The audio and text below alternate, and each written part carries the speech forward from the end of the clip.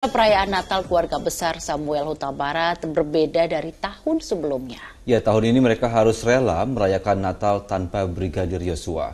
Rona kesedihan masih tampak di wajah keluarga saat ziarah ke makam almarhum. Tangisan Rosti Simanjuntak, ibu Brigadir Yosua tak terbendung saat ziarah ke makam mendiang di desa Sukamakmur, kecamatan Sungai Bahar, Kabupaten Muaro Jambi. Perayaan Natal keluarga besar Samuel Huta Barat berbeda dari tahun sebelumnya lantaran tanpa kehadiran Yosua. Meski sebagai anak kedua, Yosua dirasakan keluarga sebagai orang yang paling membangkitkan suasana perayaan Natal. Tidak heran, tidak adanya Brigadir Yosua, suasana Natal tidak lengkap. nengok-nengok